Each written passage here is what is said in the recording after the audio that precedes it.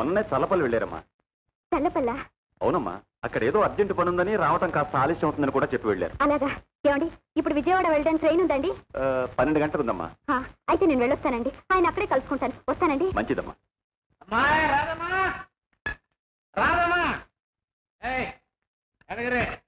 ఏదే ఓ మూసుకో మళ్ళా మర్యాద ఉంచుకో. అది నాకే మేరక ఏయ్ ఏంట్రా మర్యాద?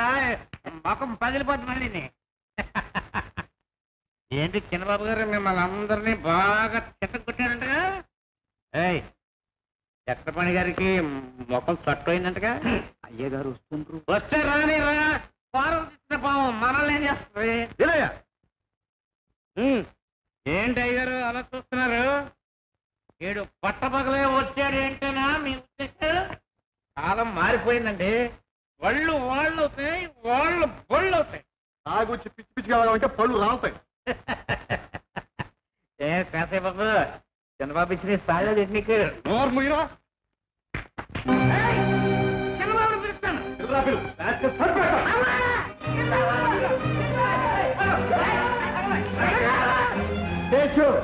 అయ్యారు వచ్చారా? అయ్యారు అయ్యారు చూసారా చూసారా పెద్దబాబు వచ్చేసు షూటింగ్ ప్రాక్టీస్ చేస్తున్నావా? మన బంగ్లాలో పిట్టలు పిచ్చుకలు ఏమైనా చేరాయా కాదు. కుక్కలు చేరే. కుక్కలకి విశ్వాసమైనా ఉంటుంది. నక్కలకి అది ఉండదుగా? వెల్ బాబు మనలో మనం ఎన్నైనా అనుకోవచ్చు నేను పడవచ్చు. కానీ నౌకర్ల దగ్గర? ఆహాహా! మనం అట మనం. ఎప్పటి నుంచండి ఈ మనం? మొన్నటి దాకా చిన్నబాబు గారు నౌకర్ల కన్నా హీనంగా చూసినప్పుడు లేకపోయిందా ఈ జ్ఞానం? అడుగమ్మా బాగా అడుగు. మీరెవరా మమ్మల్ని అడగటానికి? Seshu is my would be father law you know అంటే నాకు కాబోయే మామగారు అన్నమాట. అంకుల్ నేను రాధను పెళ్ళి చేసుకోబోతున్నాను. మ్యారేజ్ వెంటనే ఏర్పాటు చేయి. చిన్నబాబు. చాలా నేను చెప్పినట్టు చేయి. వీరయ్య ఇక మీరు ఎక్కడో ఉండనక్కర్లేదు. ఎప్పటిలాగా మన తోటలోనే ఉండిపోండి ఓకే? అలాగే అయ్యారు తమను ఎలా చెప్తే అలాగే. పదం హే వీరయ్య జస్ట్ మినిట్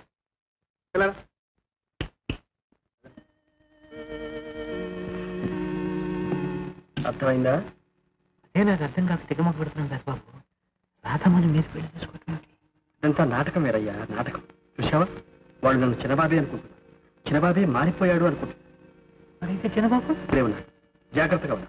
నువ్వేం కంగారు. చూడు నేను ఒక్కప్పుడు చిన్నబాబు గాను ఒక్కప్పుడు పెద్దబాబు గాను నటిస్తూ ఉంటాను. నువ్వేమీ కంగారు పడకు. అంతేకాదు ఆ, ఈ రహస్యం డాడీ! అమ్మా వచ్చావు వచ్చేసవుతుంది డాడీ ఆయన ఇక్కడికే వచ్చేసారంట కదా డాడీ వచ్చారా? ఆయన ఎవరు? రామ్ డాడీ. రాము ఏమిటి ఇక్కడికి రావడం ఏంటి? అవును డాడీ నేను వెళ్ళి అంతా తెలుసుకుని వచ్చాను. మన ఊరే వెళ్తున్నానని చెప్పొచ్చారు. అరుగు.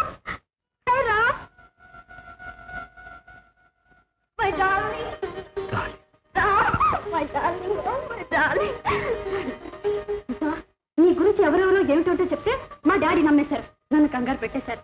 నీ కోసం నేను ఊరికెళ్ళి వస్తున్నాను ఎలాగైతే నువ్వు వచ్చేసావు. I'm so happy darling I'm so happy I'm so happy daddy చూసావా?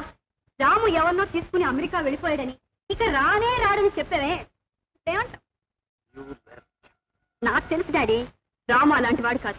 నాకెప్పుడు అన్యాయం చేయడు. నేను సో మచ్ కమాన్ డాడీ. ఇప్పుడు నువ్వు ఏం మాట్లాడాలో మాట్లాడే. వెంటనే మా మ్యారేజ్ సెటిల్ చేసే ఏమిటమ్మా నువ్వు? ఎవరిని చూసేవాడనుకుంటున్నావు ఇతను రాము కాదు నీ బావ గోపి. గోపియా? అవును కమలా నేనే గోపిని. హే రామ్ జోక్ చేస్తున్నావా? మా బావలా యాక్ట్ చేయాలనుకుంటున్నావా నువ్వు మా నాన్న కలిసి నన్ను ఏడిపించాలనుకుంటున్నారా? నథింగ్ డూయింగ్ కాదు కమలా నిజంగా చెప్తున్నాను గోపిని. రామ్ ఏది నా మొహం చూసి చెప్పు? నువ్వు గోపివా? నిజం కమలా కావాలంటే నీ మీద ఒట్టు. నువ్వు నువ్వు గోపి కావు కానే కావు. నువ్వు రామువే నా రామువే. Totally your my Ram. నువ్వు భ్రమపడుతున్నావమ్మా. గోపి ఈ మధ్య చాలా మారిపోయాడు. అవును కమలా మారిపోయాడు. నిజంగానే మారిపోయాడు. నువ్వు మారలేదు. నీ మనసు మారిపోయింది. చెప్పు ఏమిటి నాటకం? ఎందుకు నన్ను ఇలా ఏడు- నువ్వు కళ్ళను నమ్మించవచ్చు కానీ మనిషిని మోసం చేయలేవు మనసుని మోసం చేయలేవు. చెప్పు. నిజం ప్లీజ్ నిజం? రామ్. ఏమన్నా రాము ఇక్కడికి రాలేదు. రాడు కూడా నువ్వు చూస్తున్నది గోపిని. అవును చెల్లెమ్మ. మా కళ్ళంతే మేము చూస్తుంది కానీ గోపి ఇలా మారిపోయాడు. మీరే కాదు. ఆ భగవంతుడే వచ్చి చెప్పినా నమ్మను. గోపి ఎంత మారినా రాము కాలేదు. రాముల అణు అణువు నాకు తెలుసు. ఆ నడక నవ్వు చూపు అంతా నాకు బాగా తెలుసు. మీరంతా కలిసి ఏదో నాటకం ఆడుతున్నారు. ఇదంతా